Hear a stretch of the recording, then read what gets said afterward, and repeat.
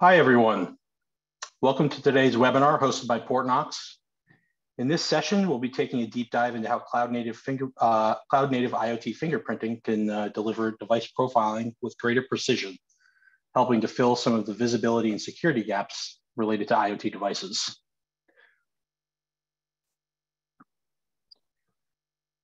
My name is Mike Marvin. I'm the Director of Product Marketing here at Portnox. I'll be hosting today's webinar. I'm joined by my esteemed colleague, uh, Jeremy Morrow, our Vice President of Product Management. Uh, please feel free to post questions in the question tab uh, within your Zoom screen. We'll address them uh, directly throughout, and we'll also do a dedicated Q&A at the end of the session. Uh, just a quick note, um, today's session will be recorded.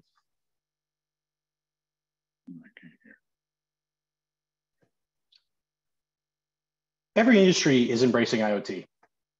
After all, being the Internet of Things promises automation, enhanced productivity, 24-7 connectedness, and more. But the advantages of IoT are not without risk, as we all know. And IT devices are inherently still risk prone, which is something we'll get into a bit more a few slides from, from now.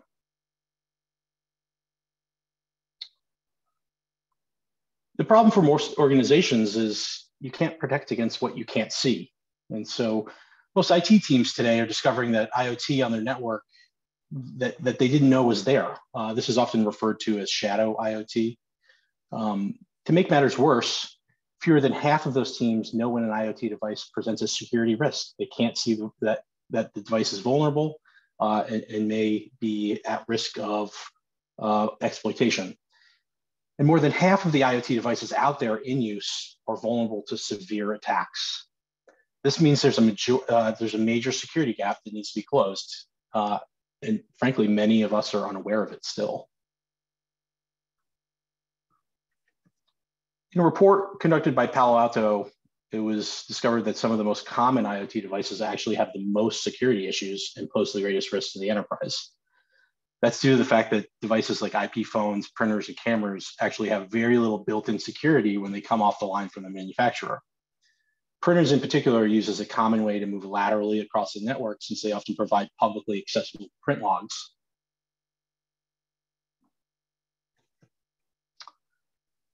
While the security posture of IoT devices makes them easy targets in most cases, the devices are only used as a stepping stone in terms of moving laterally across the network.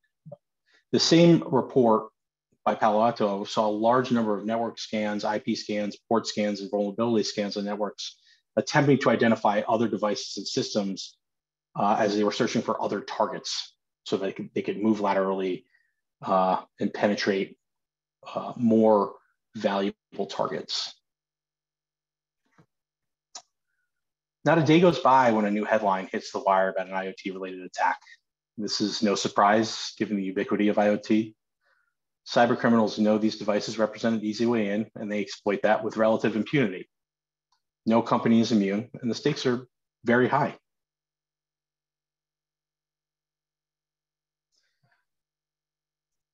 Now, as organizations embrace zero trust security models, it's often with limited consideration for IoT.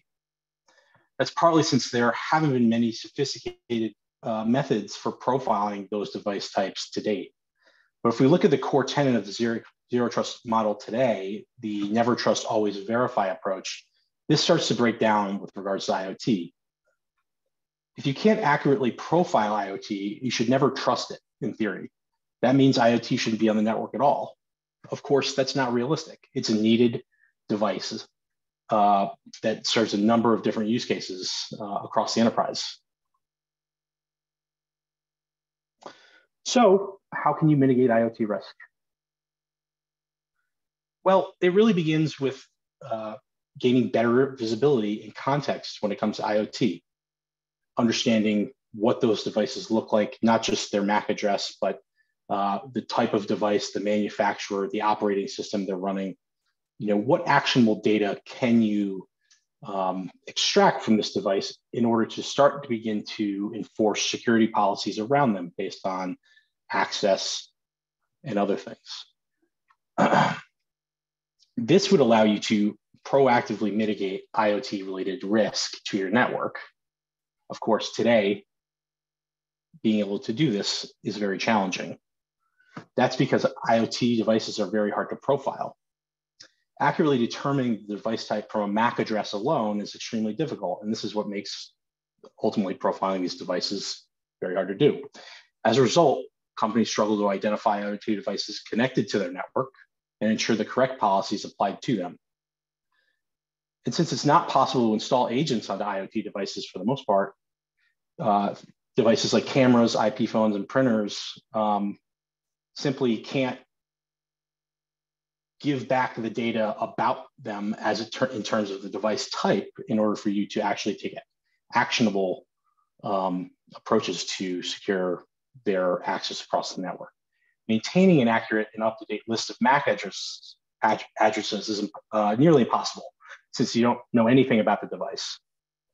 And in many cases, the OUI associated with the device is overly broad and relying on that alone can expose the organization to potential security risks since you're really only looking at the manufacturer of the device, not anything digging into the device in terms of type.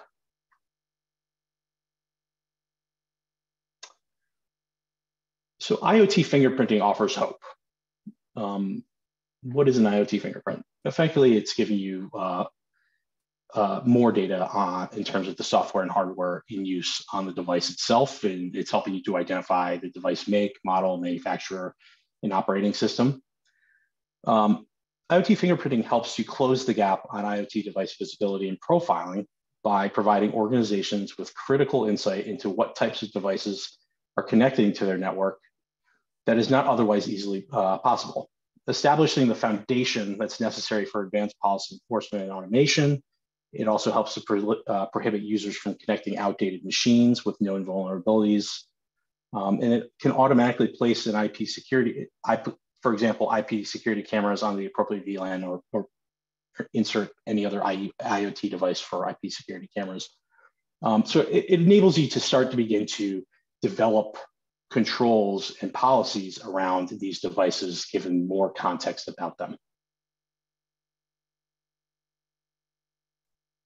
Today, companies maintain large lists of manually curated MAC addresses of IoT devices, either with a physical inventory or by cross-referencing uh, third-party asset management solutions. Um, this is one of those traditional approaches that, that is somewhat limiting. This requires manually inspecting each device to verify its identity and to obtain its MAC address. Um, alternatively, you know, because this is so difficult to do, many companies will just allow all MAC addresses matching a manufacturer's OUI onto the network, which again, we've kind of covered is a fairly risk-prone approach. So how does Portnox do IoT fingerprinting better? Here's where I'm going to turn it over to, to Jeremy, our VP of Product Management. Um, take it away. Thanks, Mike. that was a great question. It's terrifying that everybody would let that somebody would let an entire OUI onto their network without further interrogation. So let's delve into what the, what Portnox does to make uh, IoT fingerprinting better.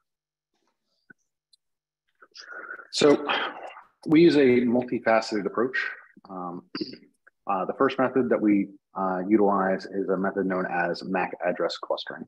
Uh, MAC address clustering, uh, just for the layperson who's probably not uh, intimately familiar with that term, is essentially when a, a, manufacturer goes to do a production run of a particular make, model, or device. Um, that manufacturer is given a list of uh, sequentially ordered MAC addresses to be imprinted on the, the network interfaces of, of those devices, be it the wired or the wireless interface. This is very similar to the serial number, but is specific to the to the network interface. If you know what the first uh, MAC address was in that production run, and you know the last MAC address in the production run, you know all the device, all the MAC addresses in between, what those make and model of those devices are, and that is a method uh, referred to as uh, MAC address clustering. The other method that we utilize is uh, a method referred to as DHCP gleaning. Uh, DHCP gleaning is uh, leverages a, um, technology that is uh, embedded in a lot of uh, manufacturers' devices to uh, extract information about a given host's DHCP request, um, and then based upon the order and the, the DHCP options that were requested in the order in which they were requested, you can uh, have an extremely high degree of uh, uh, probability or confidence that the device is a, a particular type.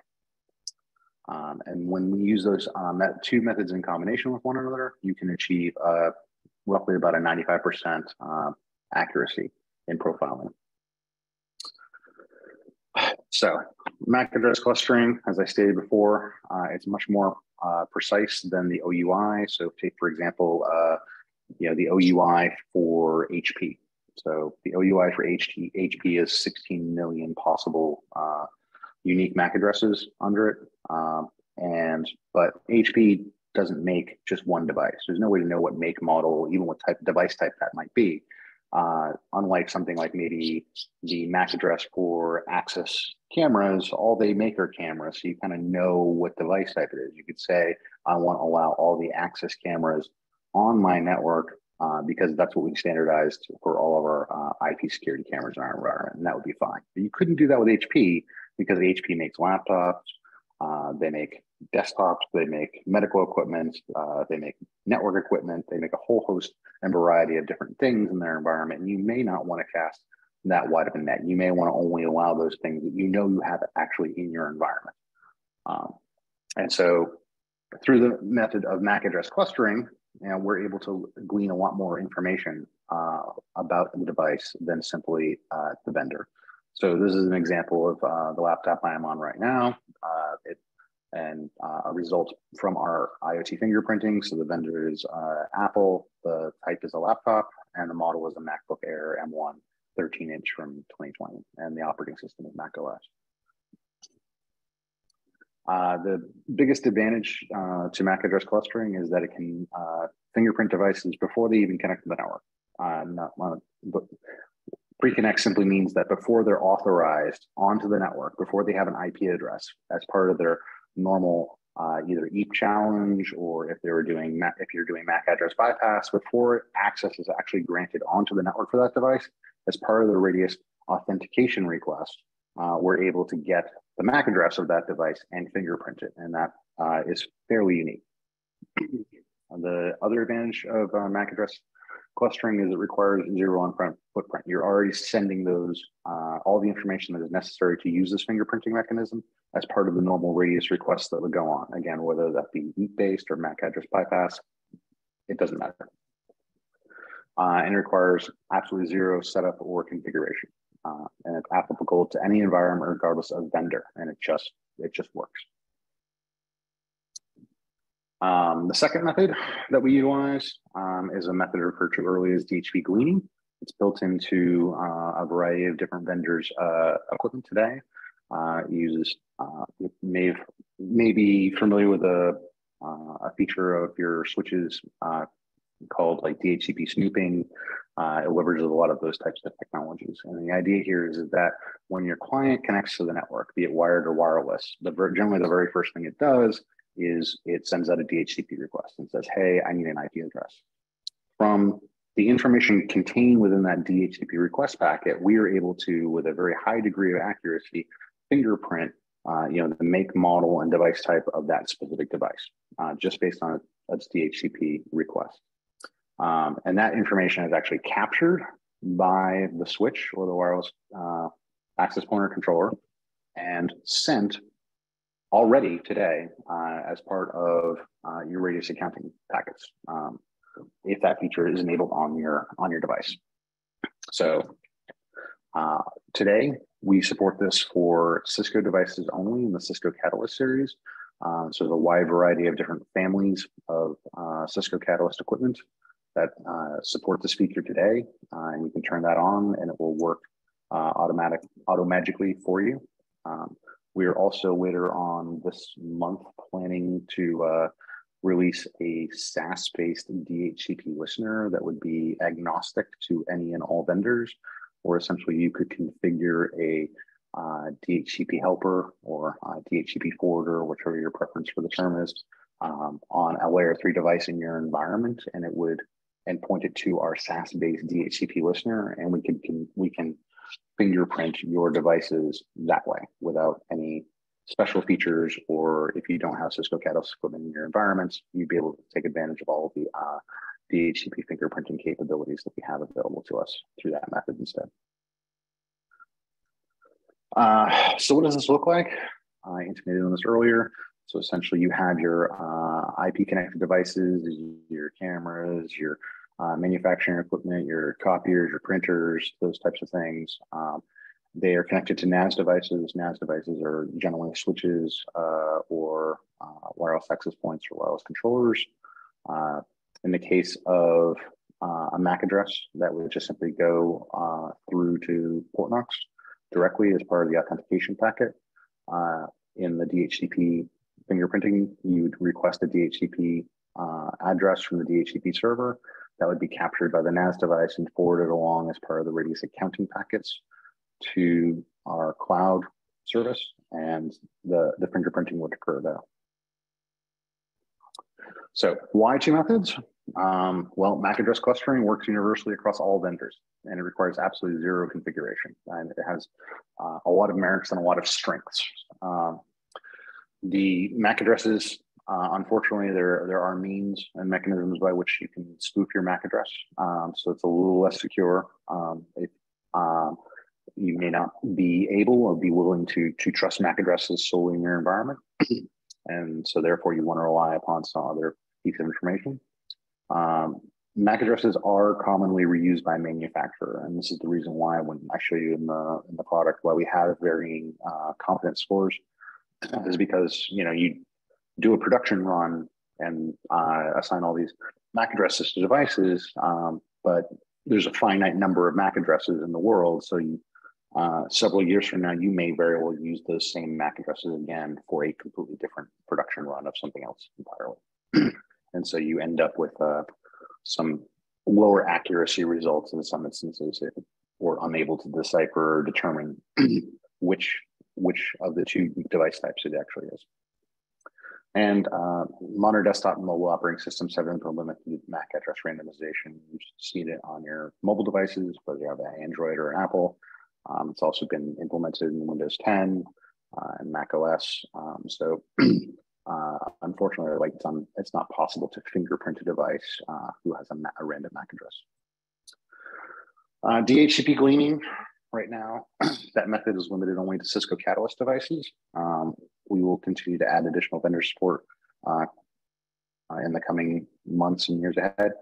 in the interim, though, we have the uh, the SaaS-based DHCP listener that you should be looking forward to in the, the upcoming uh, by the end of this month, I hope. And um, additional configuration is, however, necessary on each of the NAS devices if you're going to be using DHCP. It's a feature of the switch or the wireless controller, so that it has to be uh, enabled and configured on each one of those devices.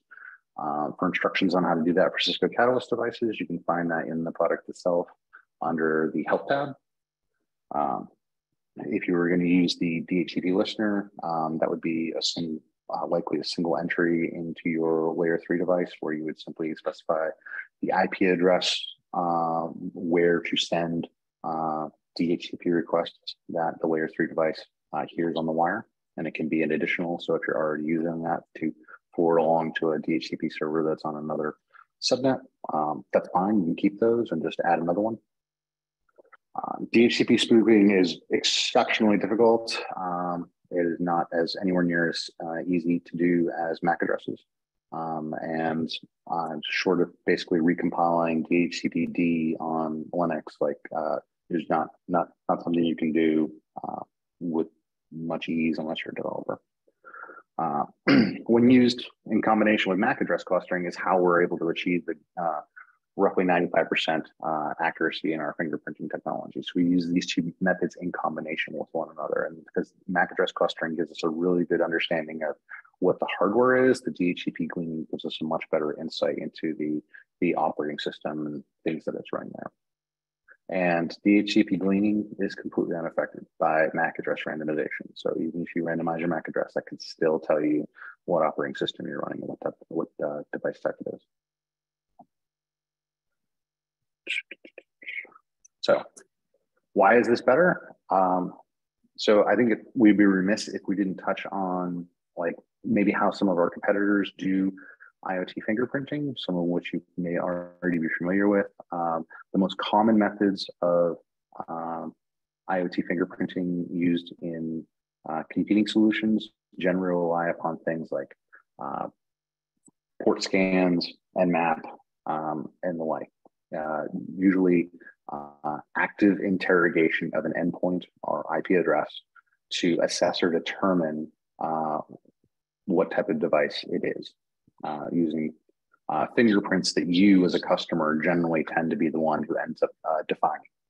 Uh, generally based upon things like what ports are open on that endpoint um, and, and certain signatures that are returned back. And it is generally the customer's responsibility to both create and maintain those fingerprint uh, templates, if you will, um, as new devices come onto your onto your network, um, so that you can properly uh, identify what those are. So how we're different, different is obviously we're incredibly accurate. We have zero on-prem footprint. All of the active interrogation methods uh, for interrogating an endpoint would be would require some on-prem footprint to do that active interrogation of the, of the endpoints.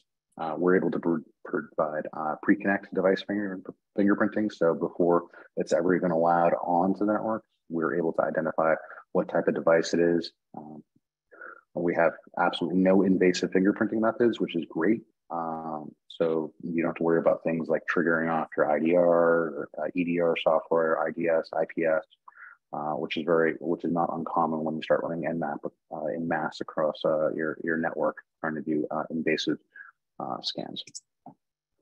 all our methods are passive. It also means that they're incredibly scalable and bandwidth friendly touched on scalability there. And there's really no messy maintenance or overhead, as I mentioned earlier in many of our competing products, uh, where you have to actually create the profiles yourself manually, which basically says like if this port is listening and this port, and I get this signature back or it returns this value, then then it is a HP printer, blah blah blah. Um, you don't have to worry about that. You don't have to do don't have to do that whatsoever. Uh, we've done all that work for you with in a passive method. So Today, Portnox can, pro can profile 260,000 different IoT device models across 30,000 manufacturers and 27,000 operating systems. I don't know about you, but I could not name 27,000 operating systems. And uh, those databases are being updated and uh, new devices added uh, every single day. So again, you don't have to worry about managing and maintaining that type of uh, database yourself. We do all the hard lifting for you. So what is a what does a fingerprinted device look like inside the product? Um, well, I'll be happy to show you. Maybe.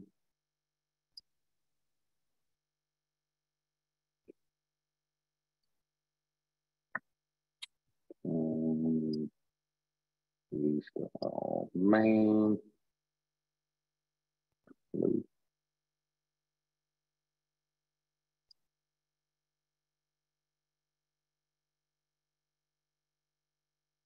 Mike, anybody, can you see my screen?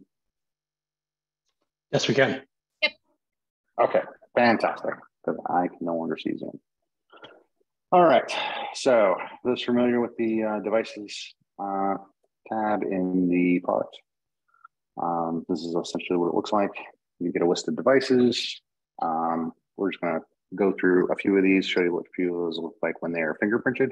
So I'm just gonna you know pick a few Apple examples. So here I have a MacBook Air. Um, I can see that it is classified as a computer. Its vendor is Apple, and it is device model MacBook Air, and it's been detected having Mac OS uh, uh, running on that. Uh, I also picked up my Apple TV, so I'm running this in my in my home environment. So you're going to see a lot of IoT home-based type things um, because that's that that's my lab environment I'm working with right now. But here's a what a Apple TV 4K would look like in 2017 uh, had my my my iPhone 14 Pro, my wife's my wife's MacBook Pro, etc.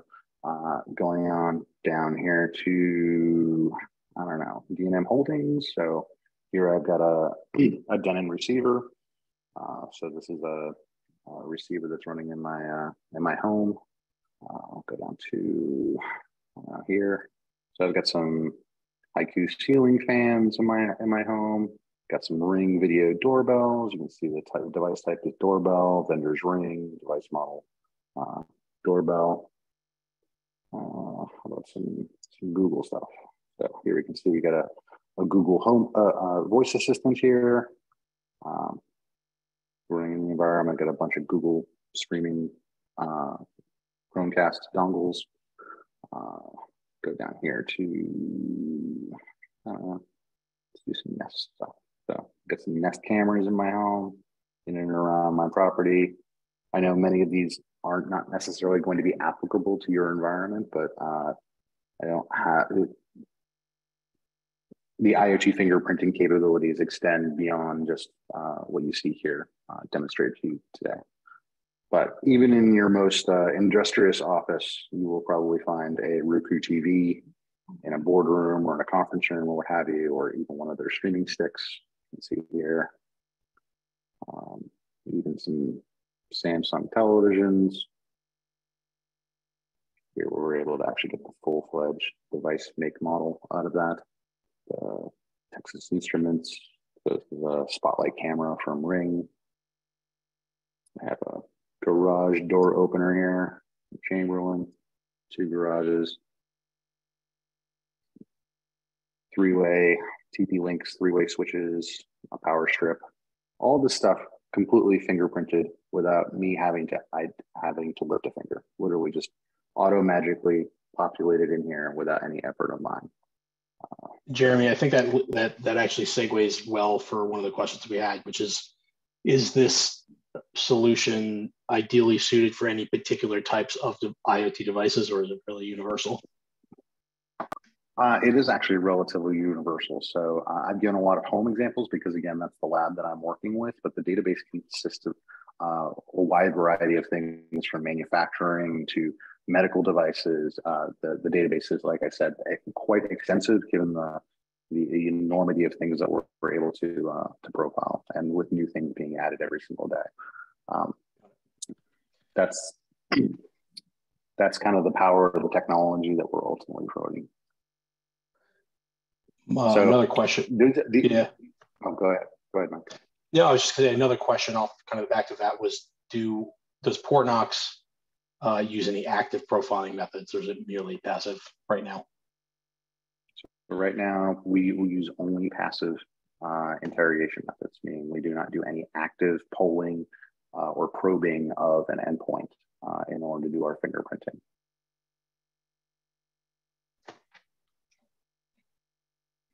The dis, uh, what you will find is that the as an industry as a whole, uh, active interrogation of endpoints has very diminishing returns. I mean, it's uh, it it may have worked fairly well in the past, but it has degraded over time, um, and and that is a result of security. So what you're finding is that you were able to interrogate endpoints like laptops and what have you using protocols like WMI, maybe even SNMP or, or other types of or RPC or uh, other types of protocols. But the problem is, is that since since those days, you know, your uh, your EDR software or even the built-in you know firewall into your operating system prevents any interrogation of those endpoints, meaning they will not respond to to any of those requests uh, and traffic. The same is actually true, or even more so, of IoT things, because security has become such a big problem around IoT devices. What you're finding is that those devices just become complete black boxes, uh, with the exception of things like printers, where I may need to print directly to a printer. A lot of your IoT devices essentially don't have any listening ports, and they can't really be fingerprinted through conventional uh, interrogation, active probing of the of the endpoint. Um, and that's because they've completely firewalled themselves off, have no listening ports, and usually what they their behavior is is when they boot up or turned on for the first time, they're making outbound calls, usually a RESTful endpoint that they're talking to, uh, maybe in the cloud or somewhere else in the environment. But all communication is outbound rather than inbound, and that provides for greater security on the device. But it makes uh, interrogating that device or profiling it uh, using active, conventional active interrogation uh, essentially impossible. And that's why we, with our, our passive means of um, fingerprinting, uh, we believe is, is vastly superior to, to active methods. Got it. Uh, one final question I, uh, from the group. Um, what package today is this feature available in? So currently the IoT fingerprinting is included in the enterprise package. Um, yeah, that's all I have to say on that right now. Got it. Cool. Well, I believe that uh, concludes it as far as questions, um, as far as I can see. So I think uh, we will wrap up today's I will, session. I will, I, sure. Go ahead. I'll, I'll, I'll, I'll, toss in one last thing. So there is obviously always the potential possibility that uh, a device cannot be fingerprinted. Here's a perfect example of a device that for some reason or other, most likely as a result in my environment of MAC randomization, but um, it may, it's conceivably possible that it we are unable to fingerprint a device. It's extremely rare, but it's certainly possible.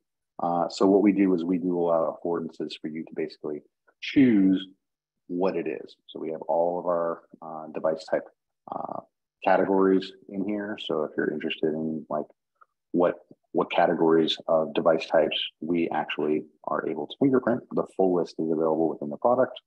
Um, so let's just say this is a, a wearable uh, device model. Uh, has a profile, but I can type in whatever I want in here. Uh, so I can do that. It help if I click save. Uh, I can pick the operating system. I can pick the I can enter in an OS version, and then I can click save. And then moving forward, as we start to build policies around that type of information, that information that I have entered in manually uh, will be leveraged and utilized. So that that is all I had, Mike. If you want to close it up. Yeah, no problem. Thank you so much, uh, Jeremy. Uh, this is very helpful. Um, as always, we're happy to field questions uh, post webinar. Uh, you will get an email uh, after the conclusion of this with recording. Um, so you'll have access to that.